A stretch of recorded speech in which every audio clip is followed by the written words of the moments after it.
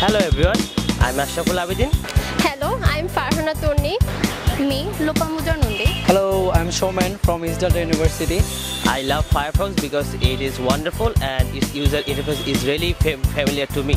And I also like Firefox Hello because um, because I feel free to send my videos and comments to my friends and family via Firefox Hello. I love Mozilla. I'm, I'm using Mozilla browser. This is very good and very smooth. Uh, I love this because of privacy.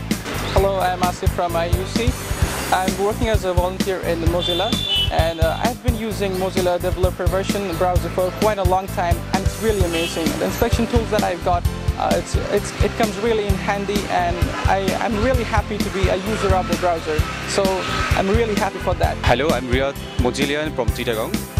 I love Firefox because it's allow us to um, browse privately. So in that case, I love Firefox and I suggest Firefox. It also allows us uh, lots of features like um, Firefox Hello